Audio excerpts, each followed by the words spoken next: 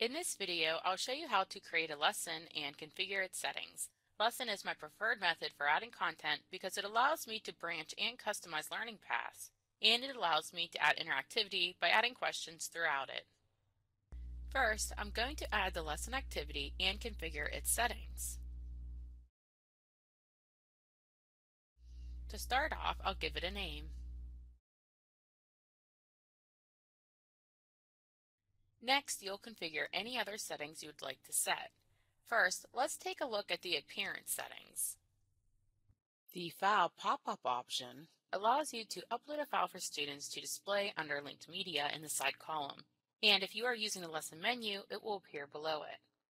I like to show the progress bar because it gives the students an idea of how far they are in the lesson. If you would like students to see the ongoing score, make sure you set this display to yes.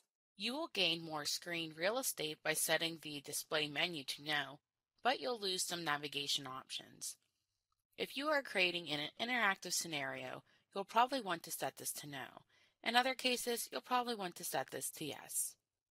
You may choose to set the lesson to display the menu, but only once reaching a certain percentage in the lesson by setting the minimum grade to display menu option. So in the case of a scenario, you might want to only set this to a passing percentage, which will force the student to go through the entire lesson on their first attempt, and then once obtaining a passing grade, they can see the left menu for review. The slideshow option allows you to display the lesson with a fixed width and height. At some point, you might need to change the maximum number of answers setting. This controls how many answers and distractors may appear for a question in the lesson when you are setting it up. It just affects the teacher's view, not the student's view. But if it doesn't have enough listed here, you might not be able to input the number of options you'd like. You can easily modify this later if you need to. I'm going to set the Use Default Feedback option so that it doesn't display.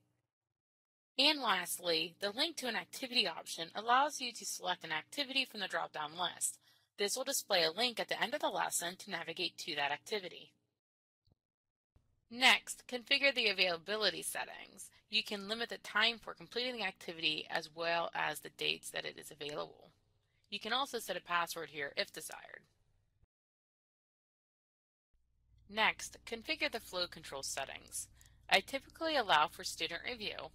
I don't provide the option to try again on the same question. I like to allow the maximum number of attempts. And I always leave the action after correct answer set to normal follow lesson path. I leave the option number of pages to show set to zero so that all pages are shown. Only change this when showing pages in a random order. For example, when action after correct answer is set to show an unseen page or show an unanswered page. Now I'll configure the grade settings. Make sure you always configure these settings. If the activity is graded, select a grade type and configure the scale or maximum points. If desired, select the grade category. Optionally, set a passing grade. If you are grading the activity, set practice lesson to no. Turn on custom scoring to add point values to correct responses. As a best practice, use this feature to ensure scoring occurs properly, especially if you are using jumps to various pages. I usually allow retakes and set the handling to maximum. You can set these to your own preferences depending on what you are trying to accomplish. The minimum number of questions option I typically leave set at zero. If you are just using content pages, make sure you set this to zero because this determines how the grade is calculated for the activity. Like other activities, you can set the Outcomes, Common Module settings, Restrict Access, and Activity Completion settings. Since my lessons are typically graded, I set the activity completion to be viewed and graded in order to be tracked as complete.